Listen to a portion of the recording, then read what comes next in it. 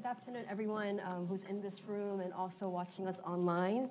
Um, it's a pleasure to be here, and the, the report is um, incredibly interesting um, and wonderful to read. So I'll reiterate the request, or um, just to say that it was it's very quite informative because I think a lot of us who work in education have an intuitive sense that these stakeholders have different perspectives. Um, but this is one of the first studies that I've seen that actually documents um, the degree to which there are differing perspectives around, you know, what should be considered um, good, good traits for success and all those kinds of things. So I'll start with that. Um, and then one of my other tasks as uh, a moderator is to um, remind the audience and those of, uh, those of you who are watching the webcast to follow the conversation on Twitter using the hashtag breadth of skills. So I'll just get that out of the way first before introducing um, our wonderful panel um, that we're going to be hearing from. And so I'm just going to do a very simple introduction of their names and titles. And then what I've asked them to do is actually, um, given the fact that some of the challenges of this um, that this report reveals also in this conversation around what should we be teaching students is the notion that the world is fast moving and quickly moving. And so, as we're teaching students for this world now, 30 years later, when they're adults, um, or 20 years later, will those skills still be relevant? So, what, what I've asked the panelists to do is to say really quickly in 30 seconds what's a skill that they themselves have learned um, in schools that they feel they're still using now um, in these in these incredibly important sounding jobs. Um, so, to my immediate left um, is Mr. Darius Ogutu um, from whom you've heard this morning, and he is the Director of Policy Partnerships and East African Community Affairs in the Ministry of Education in Kenya.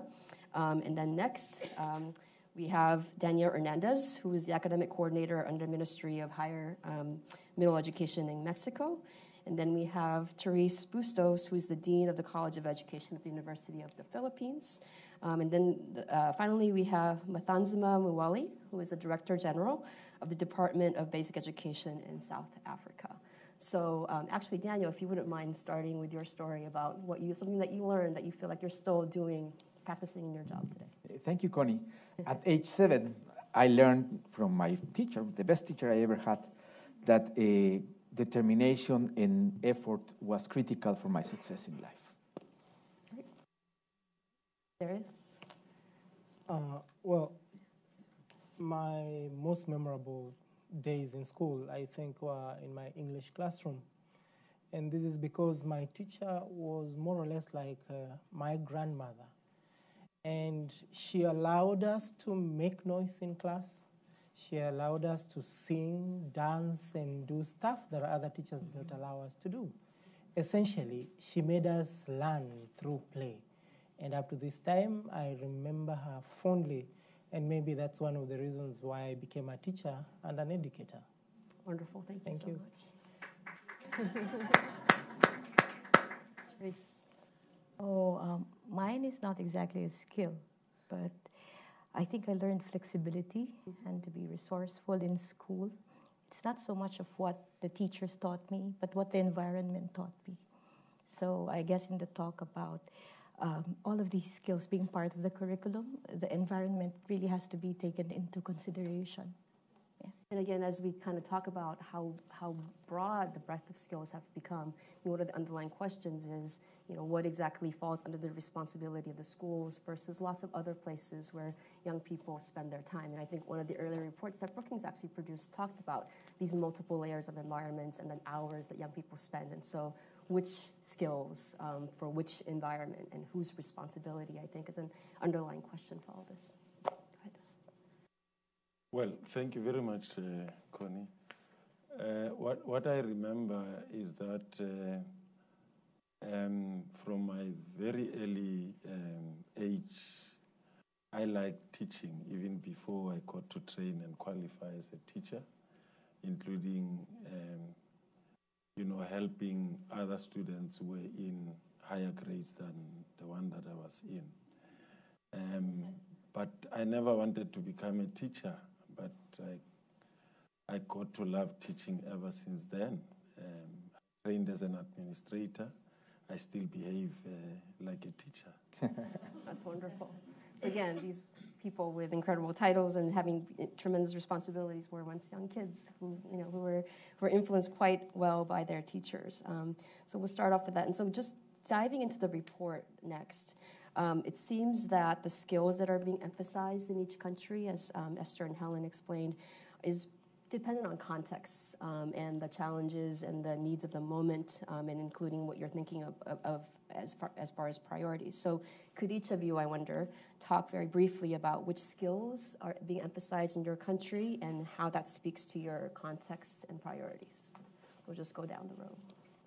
Okay. Uh, okay, in the context of Kenya, the main skills that we're emphasizing currently is um, literacy, numeracy, and some element of digital awareness. And uh, these are key for us because uh, over some time now, children go through the system and go through the levels, but they do not learn uh, basic competencies. They do not acquire basic competencies. So it's not uncommon to find somebody who's gone through the system, but they are not able to read or write as expected. So for us, the basics in terms of literacy and numeracy are critical for the children to acquire this so that they can be able at least to go through uh, the rest of the levels or the curriculum with a, a certain level or standard of uh, understanding. And then the issues of digital literacy. Uh, we're trying to accustom our children to the realities uh, of the use of technology and most of them find this quite interesting. So issues of uh, using tablets, using mobile technology, and integrating this in learning is proving to be quite popular in a number of our schools. So we are in a small scale trying out this as we train teachers on how to integrate ICT in teaching and learning. Yeah. Thank you, Connie. Uh, Mexico is in, engaged in the launch of a new educational model. Uh, and this is something that the country needed for decades, basically. What we have been doing is reviewing the curriculum, actually to try to uh, align it between the different uh, educational levels primary, secondary, uh, higher middle education. Second, we have reviewed the curriculum in order to uh, improve relevance. And that basically means to take out a lot of topics that history had put them uh, there over the years. Uh, by doing that, we expect to see the opportunity for teachers to develop deeper learning in their, in their students and to develop some interdisciplinary practices so that students can engage in critical thinking in mathematics and then bring that to uh, uh, sciences, for example. We have 11 areas uh, of, in the new curriculum. We have three of them are related to content, disciplinary content, literacy and communication, mathematical thinking, and the exploration and understanding of the natural and social world. And I want to em emphasize that we are putting there exploration and understanding because that's kind of how we are introducing uh, skills like analytical thinking into the curriculum. Then we have the critical thinking, problem solving, social emotional skills, which is something that uh, our society is very much uh, engaged in because uh, we are looking for a society that faces critical problems of violence, basically. So uh, we are very interested in, in dealing with social emotional skills and collaborative and teamwork related for, job, for the job market. And then, uh, obviously, as a society as diverse as Mexico needs to think in diversity, tolerance, and citizenship, uh, arts appreciation, health and personal care. You saw the numbers, how many youth we had in Mexico, so we need to prepare them for a changing world in, the, in which uh, health is an issue. environmental care, and digital skills. And in digital skills, it's not only the use of, of ITCs, of, of ICTs, but also the, the, management of data and the analysis of the data that you get through uh, all these new technologies. Thank you. Oh. So the Philippine situation is yes. pretty much the same as Kenya and also Mexico. Uh, we're the last country in Asia to add uh, two years to our education system. So now we have a 12-year basic education system. Now, the intention is that hopefully students, after going through senior high school, they'd be able to find employment, so they would have skills, or they'd be able to open their own businesses, so they have entrepreneurial skills, or they can go to college. Now, having said that, um, there's also renewed emphasis on literacy and numeracy in the early grades because we believe that all the other 21st century skills are really uh, based on literacy and numeracy, like development on like being able being able to read so that you can read the situation, think critically about the situation. So those things are very important to us.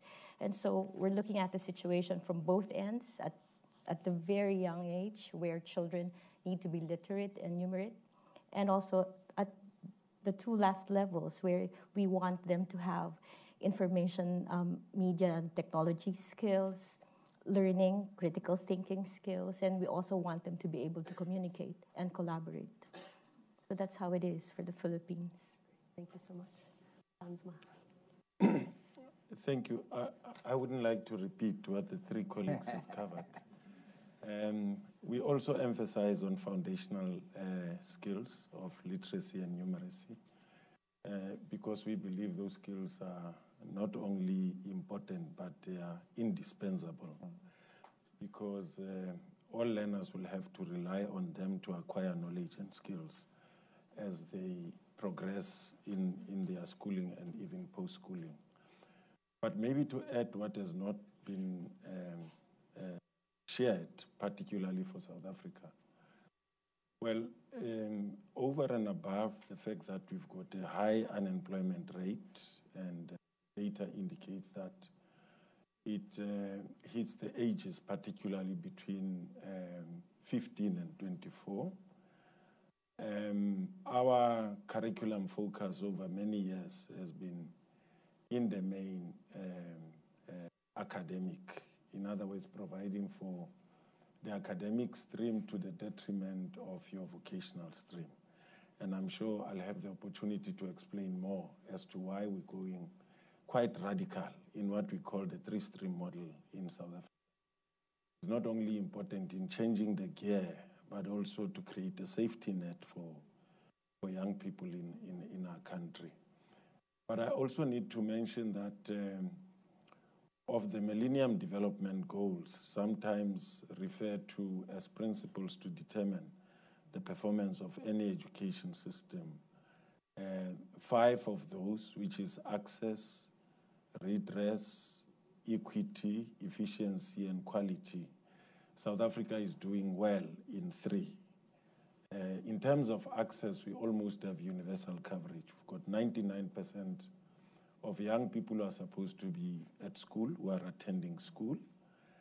And in terms of the second one, redress, um, for instance, we've got what we call uh, pro, pro-poor policies implemented by government, where parents are not expected to pay school fees. Um, so because of that, um, 99%, uh, as I said, only 60,000 um, learners or uh, young people in our country are not attending school, but the rest are in school. Um, also, in terms of equity, you've got more girls uh, attending school and more girls who are, in fact, girls do better than, than boys, both from primary school up to secondary school. I must also indicate that we have increased the level of output in our secondary school from 48,000 to over 400,000. Universities are unable to cope in South Africa. And that's why you experienced, um, you know, what would have been seen in the media circle as fees must fall. And part of the reason is because universities are the only post schooling option, uh, only post viable option uh, in South Africa. We are working as part of Africa and the region to make sure that uh, TVET colleges come on board to assist to absorb more and more young people.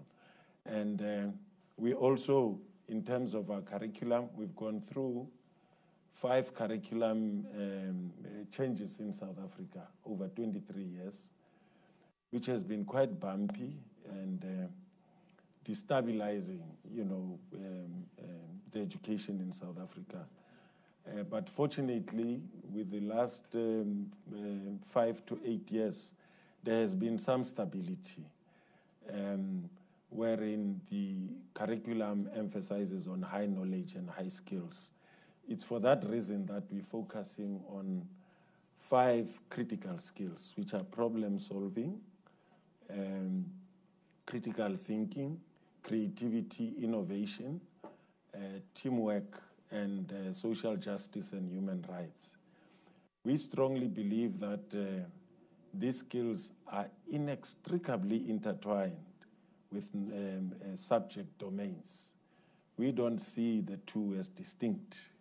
Uh, in fact, we see them as complementary because we believe that you can only demonstrate knowledge by also using these skills. So, briefly, that's, that's where we are as a country.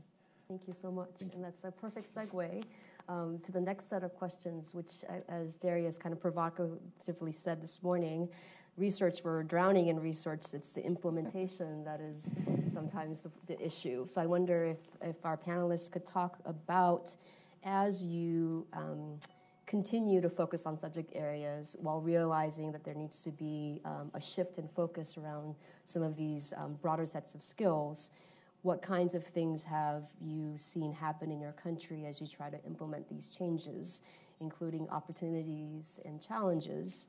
Um, and I wonder, Teresa, if you could speak as a dean of College of Education around, you know, what your thinking is around teacher education, school leadership education, as you're looking to, again to kind of marry those 2 um, areas to the fact that you know, most people seem to be recognizing there needs to be a broader range of skills that need to be taught. That's right. Well, I guess the University of the Philippines is quite unique because it's the national university, and so we get the best students.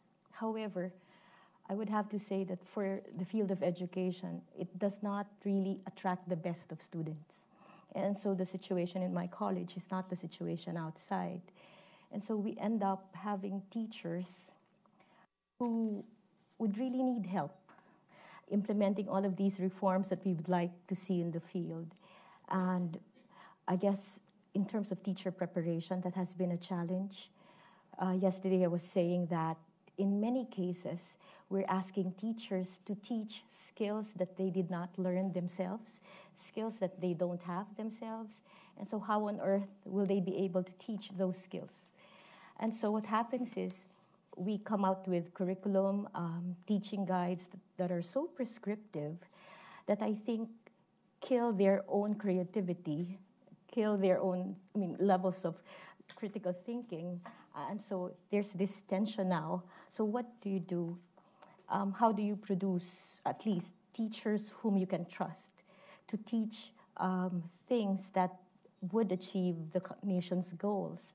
And so that is where the challenge is, I think, for teacher education in my country. Um, teacher education has to become more attractive. It has to attract really the best and the brightest. But seriously, with the conditions that are present, the working conditions, they don't attract the best. The best go elsewhere. And yet, we do have, as a country, very lofty goals that we want our teachers to implement. And so, I think for my country, that is a challenge. So, how do we get past that? Um, well, I guess I don't know how it is with the other countries. Probably the situation is the same. It's a great question. Darius, as a former teacher yourself, I wonder if you thought about this question. Yes, the challenges are more or less similar in the sense that um, we do not get the best um, to join teaching profession. But I normally be, this is my own personal opinion that the ones we have are the best for the time being, and we need to make the best use out of them. Yeah. And, and so, because technically, we have over 250,000 teachers. You're not going to get 250 new teachers again. You have to work with these 250,000 teachers that are in place. And they've produced um, highly skilled um, learners in one way or the other. So they have something in them. They only need our support, maybe, so that they can do better than they're doing. And we are trying to do this through the systems, um, tweaking around with the system and uh, seeing how we can work on the issues of um, uh, the reforms that we're talking about. And, and as we focus on issues of the science, technology, engineering, arts, and mathematics, we're also remembering that, as she said, they may not have been trained on it, but they can be supported so that they can support the children. And uh, we are now also considering introducing vocational education and technical training to junior secondary so that children are able to be accustomed to other possibilities so that they don't think that to be successful you only need to go to university. There are other mid level training that can be taken on board. And we are helping the teachers to identify the learner's talents at the earliest possible time so that they can be nurtured and they can be trained on those talents and they can be able to develop further on it. Kenya is a country of world champions and Olympic champions, I keep on saying. But these champions become champions because they are identified early in their schooling life. And from the time they are maybe eight years old, nine years old, they are already practicing the marathon or cross country or 800 meters.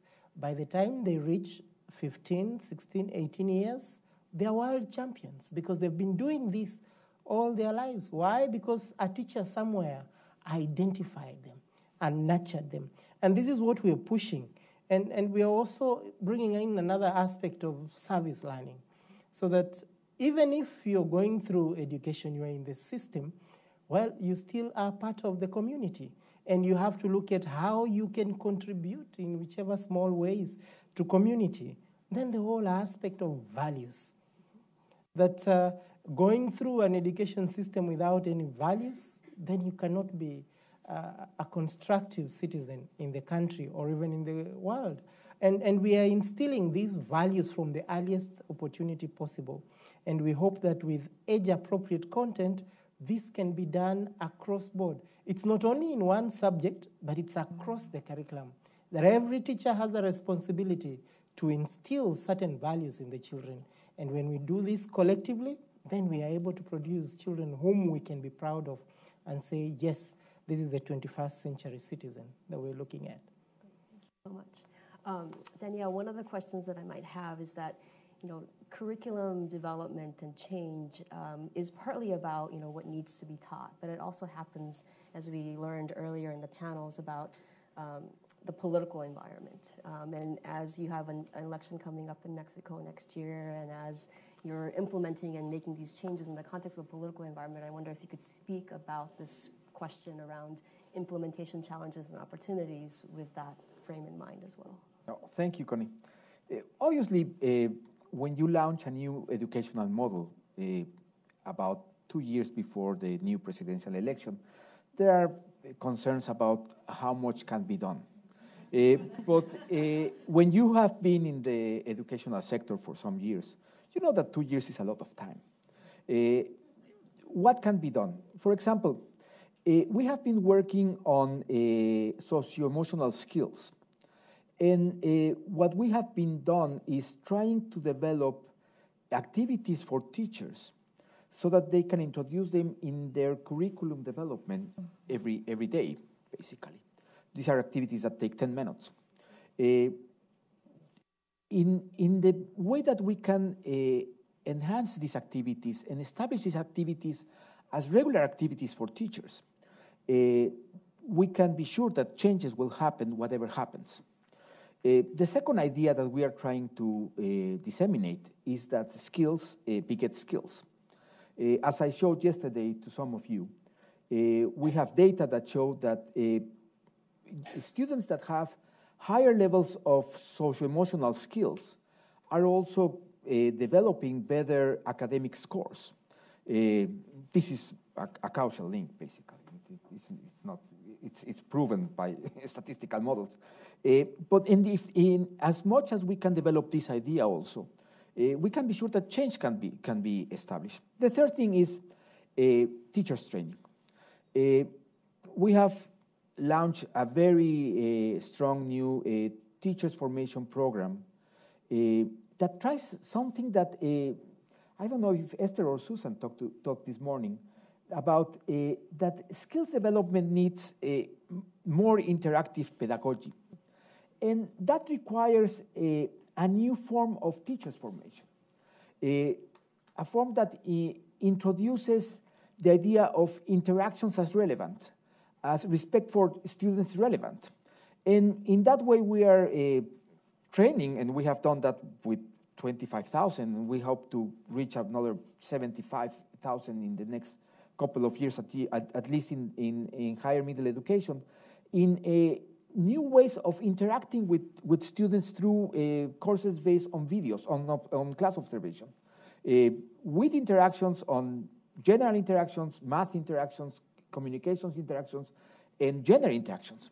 So uh, we think that if you start change, the change, uh, two years can do a lot of things. In two years, you can do a lot of things. Uh, the problem is when you stop and think, well, what is going to happen in two years? Well, whatever happens, uh, you can uh, promote change and start change uh, in this time. Great, thank you. Thansma, could you talk a little bit about the teacher's role and how that might be changing in South Africa? And again, this larger question around implementation and some of the challenges and opportunities that you see. Well, one thing for sure, with, with all our challenges in the country, South Africa is a, a country of immense opportunities. Um, but I want to cast my eyes uh, beyond South Africa. One is that um, at least um, within the continent, there is convergence. Um, we have what we call the uh, Continental Education Strategy Africa uh, 2020 towards um, 2025, which is linked to um, the Education Agenda 2030 driven by UNESCO. Uh, in South Africa, we at least have, uh, for the first time, what is called the National Development Plan, which affords us long-term planning. Um, even though you know you would have administrations coming and going, mm. at least there's a plan driving the vision of the country towards 2030. That gives us some semblance of hope. Um, and, and because of that, and, and the plan is quite clear on what needs to be done, uh, foundational skills of numeracy and literacy, it's quite explicit and, and very, very detailed on what needs to be done. And, and we've started following that plan. And, um, and given the fact that we've got continental obligations, um, we have no choice but to make sure that whatever we do also delivers on continental obligations uh, I mean, the sustainable goal four also uh, it's quite clear on what we need to what we need to do. And because of all those, we came up with what we call the three-stream model. The, the three-stream model is about focusing and uh, uh, placing an emphasis on making sure that uh, we get more and more young people doing math, science, and technology subjects, your STEM subjects. Uh, and of course, there is another focus for arts and culture in terms of focus schools. But we are of the view that um, uh, part of you know what is called skills of the 21st century is around math and science. And before 2008, a large number of young people uh, particularly at secondary school when we're not exposed to doing mathematics. But since 2008, all young people are expected to do some kind of mathematics. There are three types of mathematics in South Africa. You've got core mathematics, you've got technical mathematics, and mathematical literacy. Mathematical literacy is mathematical, for, mathematical um, mathematics for social use. In other words, every citizen is, I mean, is expected to have skills and knowledge of uh, that kind of mathematics for, for, you know, for successful living.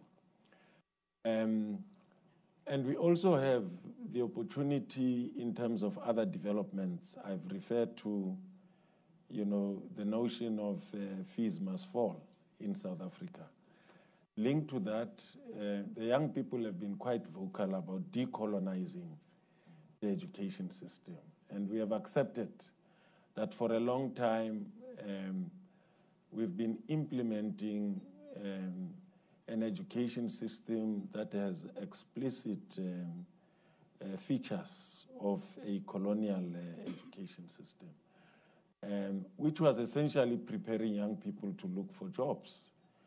And we've now changed the focus to say the third stream that we're bringing in is now going to focus on getting skills for young people to create jobs. We've developed a curriculum based on 26 subjects, um, which brings early, as early as grade six, uh, your artisan skills um, and other skills that they would require for entry level in, in the labor market. We are of the view that uh, the economy, in terms of uh, creating employment, might be a bit saturated. I'm hopefully aware that for, for the two to three days that I've been here, we've also been downgraded. Uh, so, which would add to our, you know, our woes. And, and therefore, the notion of uh, making sure that young people are empowered to uh, create jobs and um, to have portable skills, and um, but also uh, to make sure that those skills will afford them to succeed, um, not only in South Africa, beyond borders of South Africa, the continent, and the world. Great, thank you so much. So I'm going to ask one more set of questions to the panelists, and then we're going to open it up to the floor, just so the audience um, is ready for you, with your questions. But as kind of a last um, question for the panelists, what kinds of reflections or thoughts or questions came up for you um, as you read the report, which actually is a wonderful way to kind of take you out of your own particular country's context and at least see, you know, the challenges and opportunities in, in other countries. Um, and I wonder if you kind of talk very briefly about what keeps you up at night? What's an unsolvable problem as you're tackling this you know, large question around how do I help my education system prepare our young people for not only success in their own lives, but for, as we heard you know, down the line, um, success for the country as a whole. So, what's a what's a what's a, what's a remaining question for you, and then what's um, an important uh, kind of a, a, reflection that you saw from just reading the report? Uh, if I may start, Connie. Yeah, what I normally think about at night is how do I crystallize it for each of the stakeholders to realize that we are in it together. It's not just government, it's not the policymakers, but the teacher, the parent, the child, the private sector, the business owner, that we are in this together and we owe it to each other to work together because each of us has their own strengths but when you keep it to yourself, your own strength, yes, you're strong, but only in your area. Yet your strength can help build this community. And th- there is this saying we normally talk about nothing for us without us. So it's an all inclusive um, reform agenda. The teachers are on board, the parents are on board. We even have the children on board through what we call the children government. We've got the children on board telling us what they would want school to be like, what they would want learning to be like. But then, how do we communicate that we've heard you loud and clear and what we are coming up with is good for you and for this country? And uh, Hubert talked about decolonizing education. I think more of what Professor Ngugi wa Thiong'o says about decolonizing the mind mm-hmm. so that people think that we are in it for the good of the community. It's not just because I'm on the government side, but I'm also a parent and I would like to see my child learn. I'm a stakeholder, I'm a businessman, I'm in industry, and I want somebody coming through the system who's well oiled and ready to work. I would want to support startup businesses, people who come out of institutions ready to begin business, ready to create employment for others, or even who do that while in school. And we have this great idea about entrepreneurship, how we can create entrepreneurs even while they are in school. They come up with business ideas, which then are nurtured and go through kind of an incubation system, and they can be implemented. And great I look ahead and see great things for Africa and more so great things for Kenya. I'm really optimistic. Maybe because I'm an optimist, I don't know. Great, thank you. Uh, thank you, Connie. Let me start with something that I, I, I want to say about my last answer. Uh, my optimism, uh, following Darius, comes from uh, I was one of the persons in charge of changing social policy in Mexico uh, two years before the change of the government. And that program has remained over four different governments with change of parties in the country. So I have the experience that that can happen. So uh, that said, uh, let me tell you that I like the report because it's very down to earth. Uh, and it, we started a reform in higher middle education in Mexico in 2008 based on the competences model. And we thought that we knew everything. And once we read the report and we had the meetings with Emily and, and so on, we discovered that there has been a lot of learning about the skills process in, over the last 10 years in the world. And uh, that the things are very similar to the problems that we have faced uh, over the last 10 years in, in, in, in, in our system. Uh, skills progression. That is one of the things that is more important and that we hear from the teachers every day. Not the evaluation of skills in a yearly exam or three-year exam or whatever, but how teachers track that task that we are asking them to perform in the classroom uh, that is very far from what they have learned in, in teachers' colleges or in, their, uh, or in universities. Uh, so this is one of the things that I like the most about the paper. The second thing is that uh, different stakeholders have different ideas about, about skills. So, uh, and that we as middle managers, we need to understand that the information that we need to uh, transmit to all the stakeholders has to uh, address the things that they are looking at and how they look at these uh, things that are skills that are not only our concern, but is also their concern in, in, uh, for the lives of their children. Uh, the third thing is that skills can be taught, but teachers don't have all the tools for that, for that task. And one thing is that we need to think how to support them uh, and encourage them to do this, this work because it's not easy to close the door and be alone in front of 30, 40, 50 kids. Uh, so these are the three ideas that I like the most about, about the report. Uh, and the last one is that you need to be serious about integrating skills into the curriculum. It cannot be something that uh, is done by, by decree. Uh, it's something that needs a lot of work. Fortunately, we have been doing that over the last uh, 12 months in Mexico.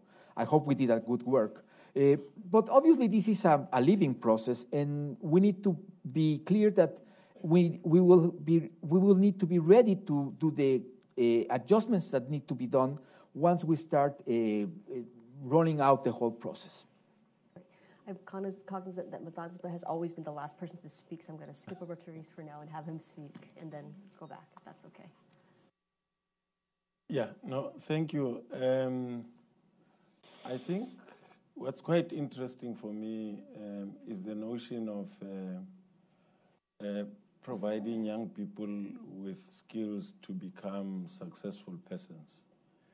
And I hope that we're not defining success in terms of skills for, you know, affording them to look for jobs. I've already said in my own country, I believe that the labor market is a bit saturated. What we need to do is to create more capacity uh, for people to create more jobs. And that's what keeps me awake at night. The young people who are unemployed, and by the way, out of the 27%, uh, if my mem memory serves me well, 9% of those young people uh, have university degrees, but they can't get employment. So, uh, um, university education also is not a guarantee to getting employment. It depends what, what you study on, and it depends on the traction of the labor market as well. And that's why I'm of a very strong view that uh, we need to go quite aggressive and in equipping young people to be able to create uh, uh, more jobs. But I think the world has increasingly become an exciting place. In the midst of rumors of war and so on, I think um, initiatives of this nature help to refresh our thinking, sharpen our thinking as policymakers and uh, as also implementers. Um, but also reminding us that um, I was saying to one colleague that uh, increasingly uh, borders across countries are also becoming a bit obsolete because when I was growing up as a young person, my ambition was to go and work in cities with tall buildings and so on. I've achieved that dream. But the dream of my three children and the children of many of us is to find themselves somewhere. Uh, some would like to, when they wake up one day, they'll uh, wake up in the middle of a street in Moscow or a street in Germany or somewhere in Africa, in Accra, Ghana, or even Kenya, Nairobi.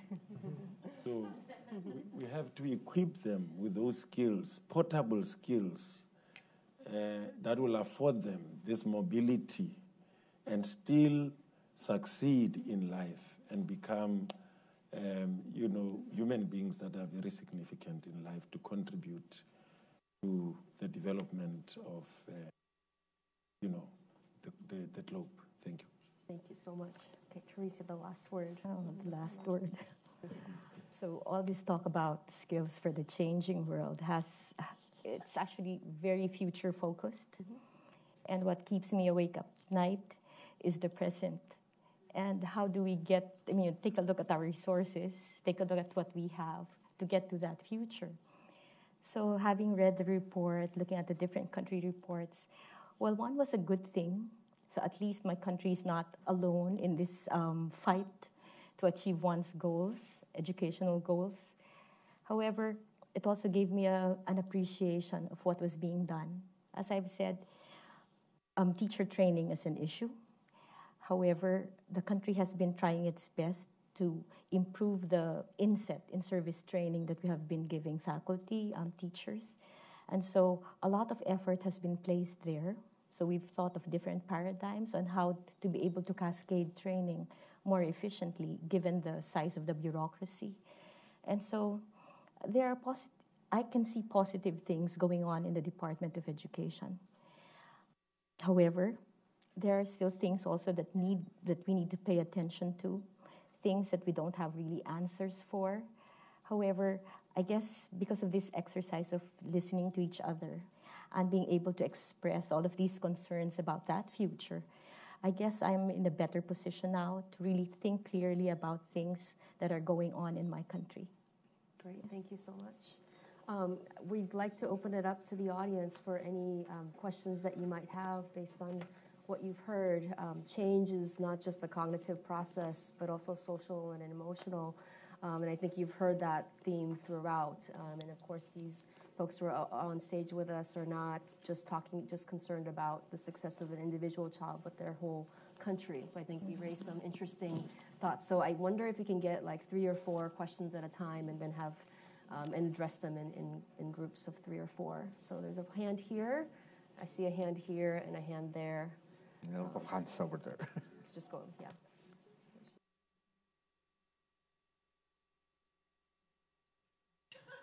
Hi, everyone. Thank you so much. That was a really engaging and interesting discussion. And I, I, my name is Nalini Chugani. I'm with Education Development Center. So I'm coming from the implementer side of it. So this is all very, very relevant. Um, and if I may, I have two questions. Um, the first is a little bit about young children. I want to ask about your experiences integrating soft skills into your young younger children cohorts and what ages your countries are starting to do that with and how what experiences you're having around that. Um, my second question is around research and assessment and really starting to think about assessment of soft skills and it's really important that you have the teachers the students the community everyone really on board understanding the value of these skills. So, in your important positions and where you all sit in your countries, I want to know what you what you need from us. What do you need from implementers? What kind of research? What kind of information do you need in in light of you know conversations this morning? There is so much research out there, but what what do you need? What do you need to really influence the policymakers? Make the teachers understand what you need. Make the students themselves understand the importance of this. Great, thank you.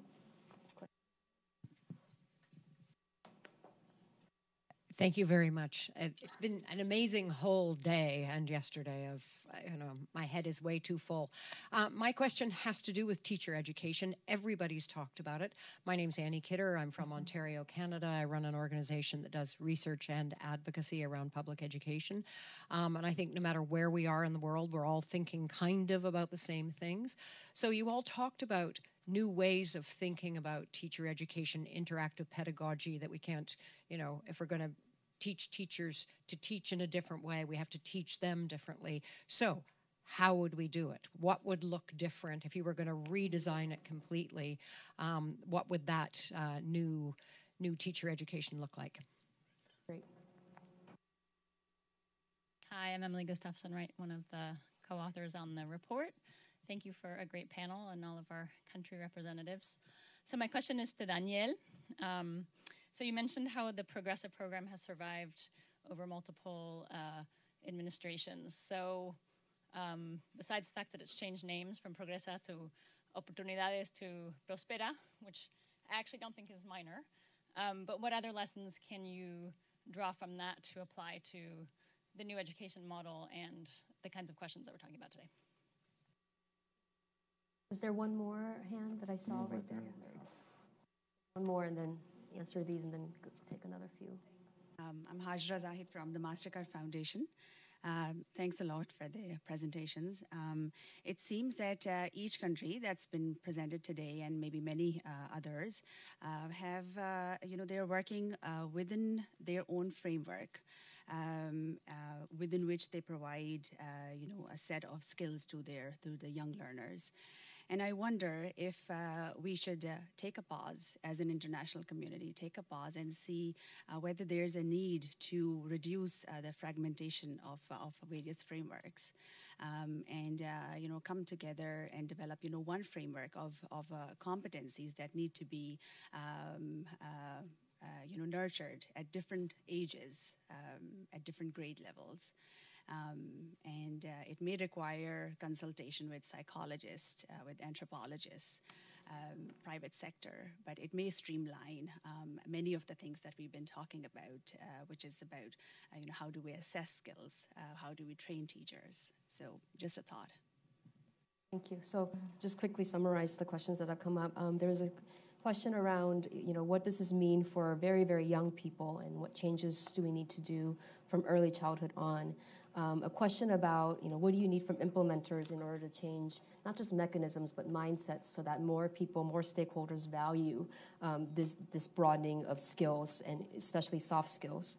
Uh, a question around if you really were to change um, teacher education so that it would actually um, produce teachers who might be able to do this, what would teacher education look like? Um, and then question to Daniel specifically around, you know, based on your own experience of having run some of these programs, what are some of the lessons that might carry over, transfer um, as you do this next uh, phase of, of educational reform? Um, and then this question around, as much as it seems like context matters um, as you decide what to prioritize in your country, so from Kenya to South Africa, is there room for coming up with um, a uh, one singular framework that all of us can get behind so that we could share knowledge and streamline some of the changes that need to happen very, very quickly um, in, a, in a world that's also changing very quickly. So, let me start uh, very fast. Uh, what we have learned from uh, continuous teacher formation, uh, somebody said to, today, Susan, I guess, is 15 hours is better than 30. I agree with that. Shorter courses, uh, that provide teachers with real world experience. Uh, we're using a lot of videos coming out from classrooms. Uh, teachers don't believe that these are actual classroom videos. They say, why do you have actors? Well, no, this is, these are not actors. These are actual, the best teachers that we have, and we want you to see what we are doing, what they are doing. Uh, and this is something that has been very successful among teachers. lessons learned. Implement. Implement as fast as you can. Uh, reach uh, certain tasks that you promise to, to achieve in a short span of time. To document everything that you do. Maybe evaluations will take a little longer. We had the opportunity to do very, very fine evaluations that are the, the mark of the, of the social policy in, in the world, but it, it document everything you do so that uh, people can see what you have done. Uh, three, be transparent. Be, do things the right way. Basically, these three things are what has support a program that started very close to the close of the government to continue over the years. Well, the, the issue of, uh, thank you very much for, for the questions and comments. The uh, uh, issue of uh, reducing fragmentation uh, of frameworks. I think we, we, we almost there. I've, I've already indicated that uh, globally you've got Sustainable Goal 4, which is, in my view, very clear on what member countries are expected to do. And um, at continental level, um, the framework has been even consolidated there. And then from the uh, continent, then at country level, you've got programs that are, uh, you know, responding to, to the framework. I've never seen such a level of synchronization in my whole life and career in educa- for education at least. And, and from that point of view, that's why I'm saying we are in a better position, we are in a better space as the global village to do even better. I mean, you would have heard from yesterday, this morning up to now, if you listen to individual countries talking about core skills, they are essentially very generic and common uh, to many of us. Maybe what we might need to do is to pay some attention um, to the curriculum. And I think Prof said it this morning. I think South Africa has the same challenge. Our curriculum is too wide and we pay very little attention to depth, and we are attending to that. That's the recommendation that I would make. But in terms of frameworks, I think we, we, we almost, there's uh, more than enough convergence. Um, uh, teacher education it's a million dollar question. It's a, it's a very difficult one. Well, what, what we've started doing in South Africa, there are two entry points.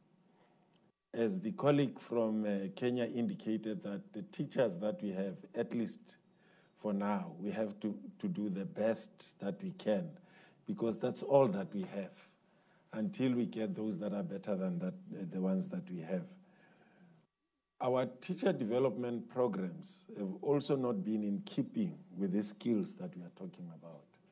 I'm talking about ongoing teacher development programs, programs that are intending to refresh teachers who are in the field already. So we need to sharpen our ongoing teacher development programs. Um, my old nomenclature, uh, they used to be called in-service training mm-hmm. of teachers to make sure that those who are in charge of that get this message as well. Um, and then the, the, the, second part of it is uh, initial teacher education. We've started some discussion because in South Africa we've moved from training teachers through uh, teacher training colleges. We are now training through universities. The research has indicated that new entrants into the profession are very strong on subject content knowledge, but very weak on pedagogy. And we think we know why, because universities are quite strong on knowledge creation and so on. But historically, at least in South Africa, they've not really been strong on, on teaching methodology. So that's how we are tackling that challenge from, from those uh, two points. Well, younger children's education, maybe as, as the last point, for early childhood development, uh, working with UNICEF and other partners, we've started to implement a, um, a national curriculum framework um, for early childhood uh, development. From we're calling it from zero to four year old in South Africa. We believe that uh, children learn even when they are still um, carried um, before they are delivered. Uh, we call it pre birth. And we've developed a framework, stimulation programs for mothers um, who are pregnant, and beyond that, we now have a framework for those who go through our early childhood development centers. And we believe that um, it's, a, it's, it's, it's, a, it's a strategy that is going to really turn around the situation and make sure that when these young people start schooling, they'll be school ready, they'll have the basic skills um, so that they start um, learning more uh, of the skills that um, they'll be introduced uh, to from grade one. And then there's also some studies that show that you know these are not two separate things: soft skills versus hard skills. More self-regulation and ability to do that Yeah. that you have that may perhaps even impacts your academic, so quote unquote, skills as well. So it's not may not be two different buckets. Um, Yeah. Darius. Just to add on to what Roberta said, is that uh, it is until I attended a DOHAD meeting, uh, Developmental Origins of Health and Disease, that I got to come to terms with the tons of research evidence on the first 1,000 days of a child and how that impacts on the child's development in his or her whole life. So the first 1,000 days, when this individual gets into this world, what happens to that child almost impacts the whole life of this child. And we're now looking at it not as a Ministry of Education issue for early childhood, but we are partnering with Ministry of Health and saying when the parents bring their children to the clinic, can they be trained on early stimulation? Can they be given some ideas on what they can do with a child so that even before the child gets into the system, they are already encountering some, some subtle things that will enable them open up to learning. Because those first 1,000 days, they are not in the education system, they are out there with their mothers and the caregivers. So, what is it that the caregivers and mothers can do so that when the child gets in the system, they are already ready to learn? They are, they've already you know, embraced aspects that will encourage them to go through the system. And we are making it very clear to the teachers at the early childhood level that it's not about teaching this child already to speak a new language or to count at that early age. It's about transiting from home to a school environment, from home to where they are meeting some other children and learning how to work together. And I norma- we normally talk about the fact that I can speak English doesn't mean that I'm intelligent. It's just a language that I've learned. And the intelligence in how I do other aspects, not just the language. So this in, in Kenya we have parents who are possessed with their children knowing how to speak English. you know, or so that when your child knows how to speak English, then you're happy. But at that time, it doesn't mean the child is intelligent. They've just learned how to speak a language. There are more milestones they need to achieve. And yes, we are integrating those soft skills and realizing that it's not only Ministry of Education, the Ministry of Health have a role to play. The parents, the caregivers, and all those that interact with this child before they get into the system. And by the time they are in the system, we are struggling to make sure there is readiness for learning by the time the child gets into grade one. O- On the issue of what we need, I wish we would package all this evidence into what works in certain situations. So that if I am in Cape Town, South Africa, or Soweto, there is an adapted tool that will work in Cape Town, South Africa. If I'm in Nairobi, Kenya, there is something that I can adapt to my situation. And yes, we're working on regional and continental frameworks so that we are talking from the point of knowledge where we understand each other. I can talk to Hubert and say, oh, on this aspect, this is how well we are doing. Why? Because we are able to measure that. We are able to determine the progress that we are making in, in, in our various areas. Then on teacher education, very important. I was trained as a teacher to get all the knowledge I can and impart it on the learners. I was not trained to allow the learners to learn, to create a condition where they will learn on their own. So the teacher possesses all the knowledge, and the, all the child has to do is show up and download what I am going to present. But that's not how the world works. And it's changing of mindsets. And now we're thinking of how is it possible that Connie can be in a school that neighbors me and does very well, but I'm the next door neighbor and I'm doing, not doing so well. And I cannot walk across and ask Connie, how come you're doing so well? What is it that you're giving your students that I'm not giving my students? So, issues of creating communities of practice among the practicing teachers so that they can not only share resources, but they can share knowledge, they can share expertise, they can share pedagogical approaches that work. Because the main issue here is what works in your situation. And I'm normally impressed by my 11 year old and 12 year old boys. They get hold of my device, whether it's a phone or a tablet, they don't need a manual to go through that device. Mm-hmm. They will walk through the system and I'll find they've changed the settings and I'm complaining. Who changed this? And said, Dad, don't worry. They just touch a few things and it's back to how it was. They are learning not by looking at the manual, but by interacting with that technology and experimenting, taking risks. So for me, that is how we need to excite the teacher that these learners are full of potential.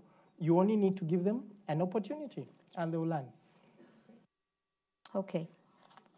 So, talking about frameworks, can there be one common framework? I think we can agree on uh, a common framework in broad strokes, broad terms. However, the framework has to take into consideration our differences culturally and socially and it has to give us leeway to be able to express, uh, for example, in terms of communication. There are ways of communicating in my country that will not work in yours. And similarly, ways that you have that if you go to my country, you'll face a blank wall. And so, and so when we think about communication skills, etc., and all of these 21st century skills, we need to look at them within a context and so, can we have one common framework? Probably, but again, in very general terms. The specifics we would have to leave the individual countries on how to best um, flesh them out.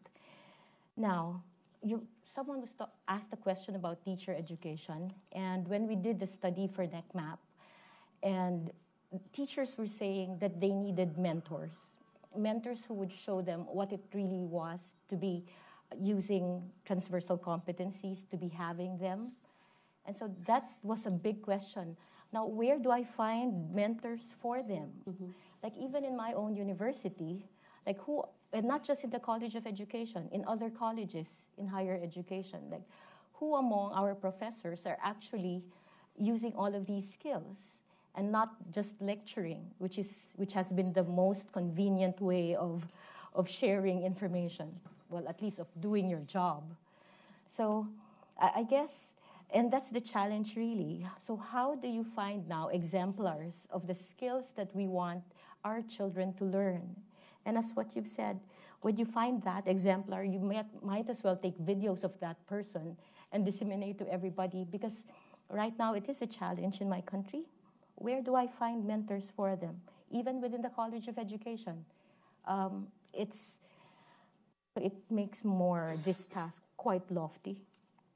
Now, what can you do to help? Um, many times we do have a lot of research organizations, you know, giving proposals and doing a lot of research.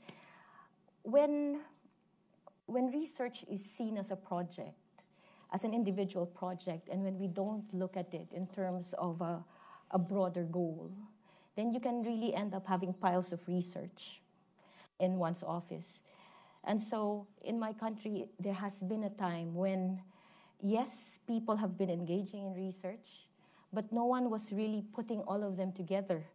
So mm-hmm. just so that we're able to make sense of all of them. And so if there are external organizations that would like to help, I think the help that can be done would be in that area, I- instead of establishing yourself as an organization doing good in a country, then take note of what has already been done and try to make use of what has been done and help the country synthesize and help the country make good use of the research that has been made available.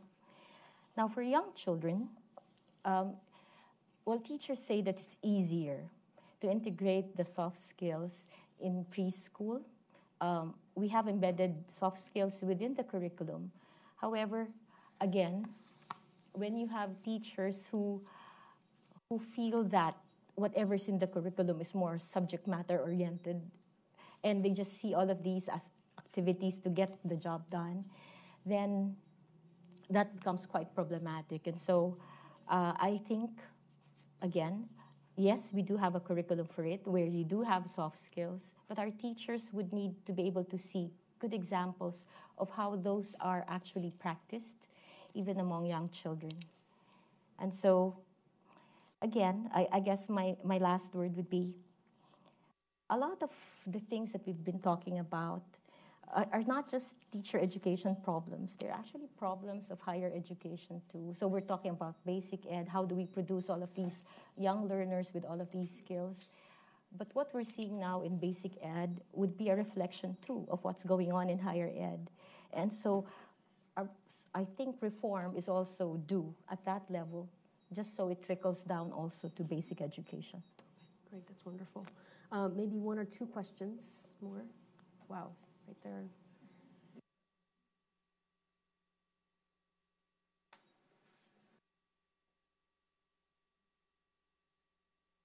Thank you. I'm Hesbon Otieno from Kenya.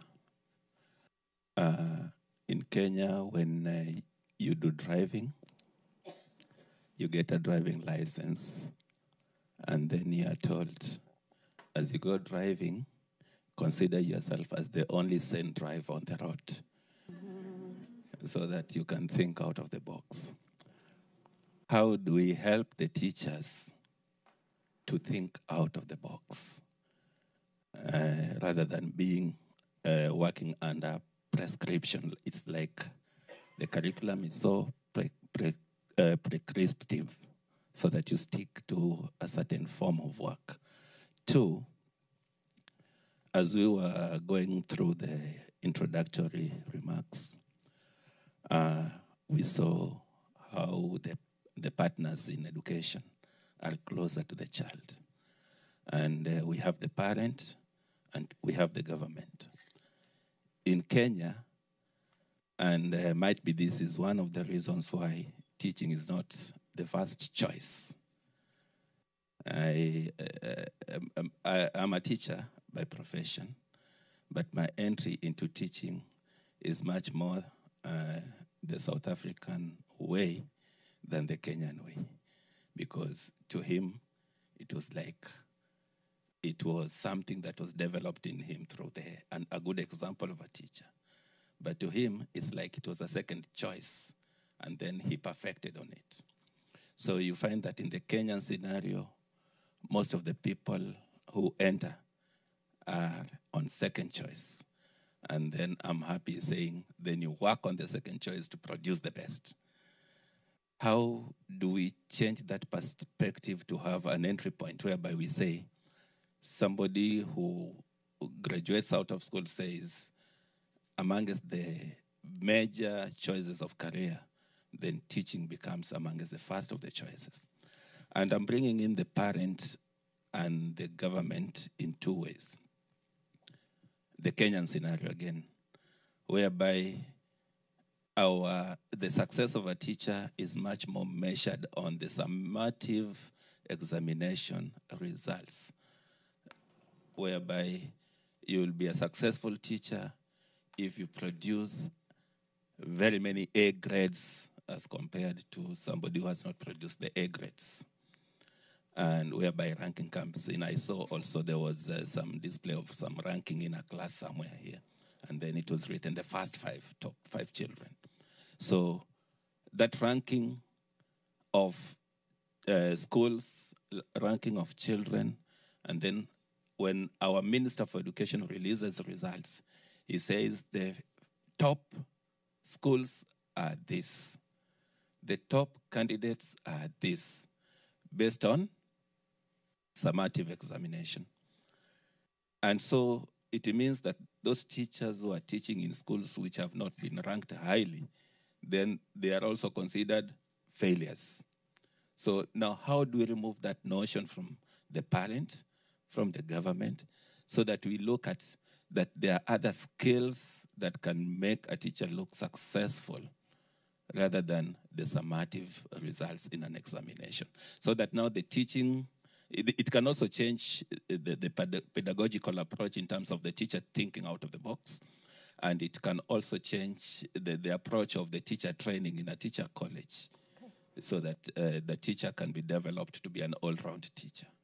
So, um, in the two minutes that are left, I'm going to just throw it out to whoever wants to respond to this question. It's an, it's an important question around you can change curriculum all you want, but if the way in which you are evaluating the success of a teacher or a school system by a fixed measure that's you know highly high stakes and high highly dependent on a particular way of doing it, then how do you create um, the value creators that many of you talked about? How do you create students who can be creative, create value for, for themselves and for society, and be able to function in a world where that kind of adaptability and flexibility of thinking is highly prized. So, who would like to speak in 30 uh, seconds or less? In, in our country, we, we did a large reform for teachers.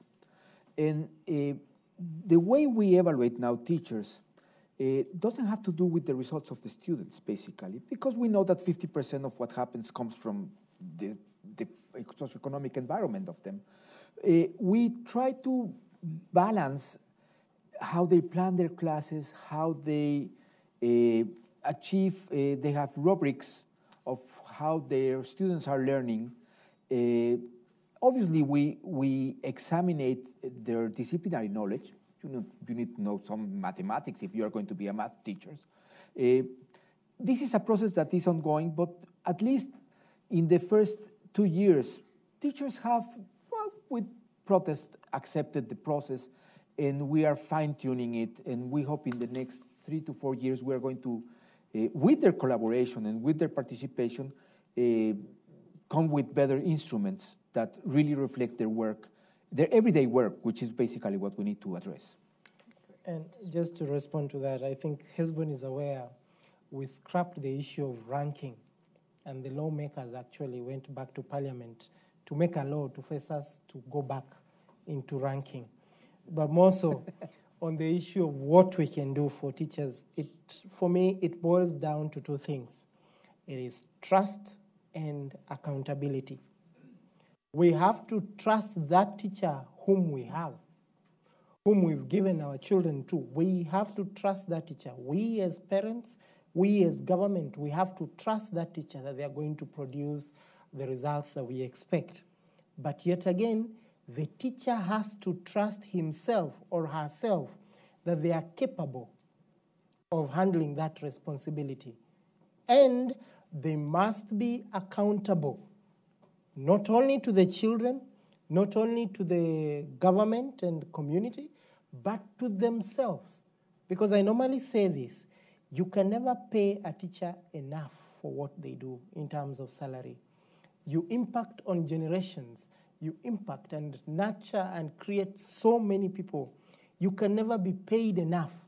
So the motivation is not in how much I get, but in the joy and beauty of seeing children go through your hands and acquire certain competencies. So for me, we are reforming all these things, but trust we place on the teacher, and the accountability that the teacher takes up in terms of the responsibility. This, you know, as a teacher, you are a co creator. You're almost like God. You are a co creator. You're creating humanity in that classroom. Once they come to the realization that they are co creators and they are working together with whoever else, then it will be a huge thinking change and a, huge paradigm shift to thinking outside the box. Thank you. Thank you. I think that's a lovely note to end on this notion of teachers as being co creators of children and communities and, and countries. And hopefully, the next panel will continue that discussion. Thank you very much and enjoy the break for the next few minutes.